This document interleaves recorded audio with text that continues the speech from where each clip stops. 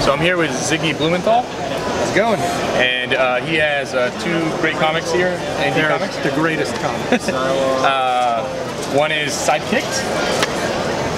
And um, I thought the premise of this one was pretty awesome. So it, it kind of really turns everything on its head. Because uh, why don't you go and explain it to me? yeah, so basically you have a city with superheroes and the superheroes have sidekicks, but the sidekicks end up getting a little more popular than the superheroes are. So as a PR move, the mayor, he promotes all the sidekicks to hero and demotes the heroes to sidekicks. Hilarity ensues. Yeah. So what I what I really liked about the idea is the fact that um, your your sidekicks are usually you know if you look back at the way Batman treats Robin. Or you know the way that uh, Green Arrow treats Speedy. They're, they're, uh, at least in the older comics, they're, they're kind of almost abusive to them, you know. And so, what would happen if they had the power?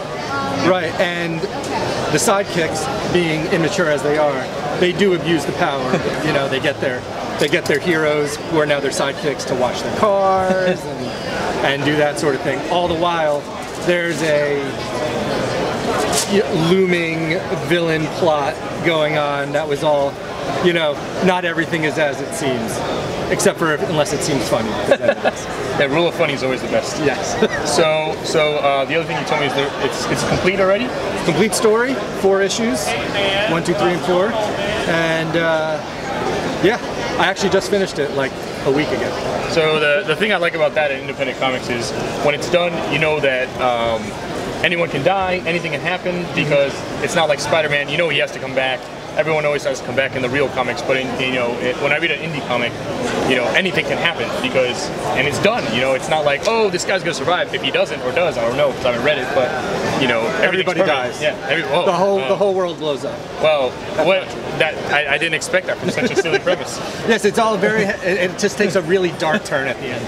And uh, uh, speaking of dark turns, we have another comic, Yes, also quite silly. Operation Pajama Pants. Operation Pajama Pants. This one was just uh, also just finished. This one is in a beautiful hardcover, and this one is also in full color. If I can open to a page Sure, with actual yeah. comic on it, and um, beautiful cover by Amanda Conner.